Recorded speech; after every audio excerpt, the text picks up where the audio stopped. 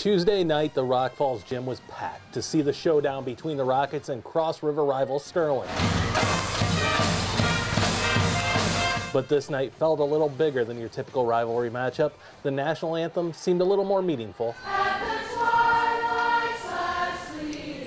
And even the rival Rock Falls student section were there chanting for a Sterling star. Everyone was clapping and giving me a standing ovation and just knowing that putting the rival aside that they can still support me, it was just, it was a really special feeling. And yeah, I was kind of emotional. I thought I might cry, but I didn't, but it was truly special.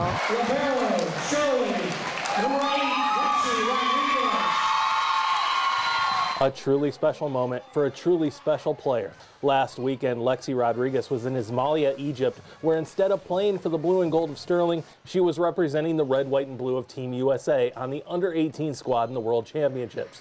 And they represented those colors well.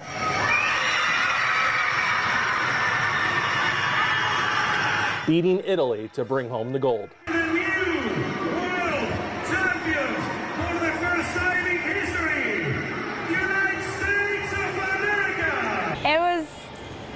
Like unbelievable. I don't even know how to describe it. I just remember when we had game point, I like my my eyes got watery and like just thinking that this might actually happen.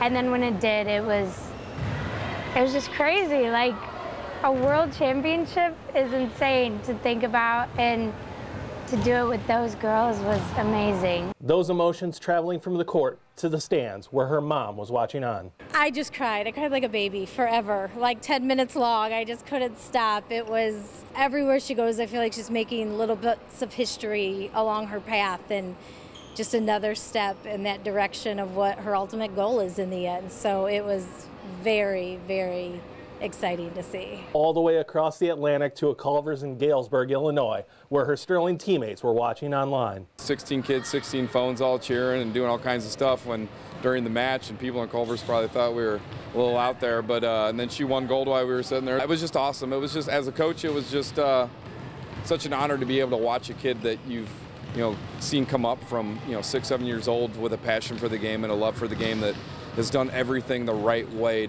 to be able to achieve something so great. Something that had never been done before. Rodriguez and her teammates' gold medal was the first time ever that an American team brought home a gold in any gender or any age group in the sport. I don't even know if it still has set in that I'm the first team that's won, but the exact moment it was just complete happiness and joy and just that we made history and it's always fun to make history. I didn't cry, some people did, but I think I was just taking it all in at the moment and like I couldn't stop smiling because it was just a, such a cool thing getting to have this medal like put around me and being able to um, just like stand up there for USA and raise like our arms and celebrate was amazing. A smile that Rodriguez carries on her face anytime she's on the volleyball court. The junior says she loves the game and wishes she could play it every second of every day.